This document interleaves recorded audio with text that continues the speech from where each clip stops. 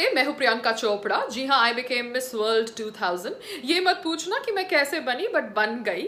उसके बाद मैंने बॉलीवुड में बहुत काम किया। I became one of the highest paid actresses ये मत पूछना कैसे बनी, क्योंकि थोड़े समय के बाद ये जो सारे सुपरस्टार थे, उनकी बीवियाँ मेरे अगेंस्ट हो गई and they left loose that Karan Johar behind me so I had to run from Bollywood and then join Hollywood Hollywood में काम नहीं मिला।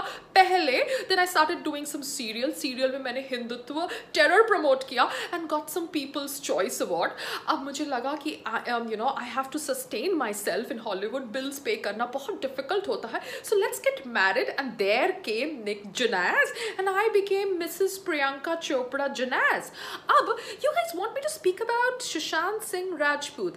Is he a Rohingya Muslim? No.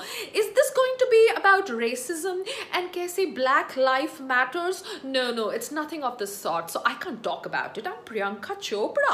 I'm an international star. तुमको पता है Instagram पे मेरे कितने फेक फॉलोअर्स हैं और इन फेक फॉलोअर्स को देख के मुझे बहुत सारे एड्स मिलते हैं बट अनलकीली मैं अभी तक इन फेक फॉलोअर्स के बिहाफ पर भी कोई पिक्चर चालू नहीं कर पाई So let's forget this. I can't talk about justice about Sushant Singh Rajput. It doesn't concern Black Life Matters or racism or Rohingya Muslims. So I can't just talk about it.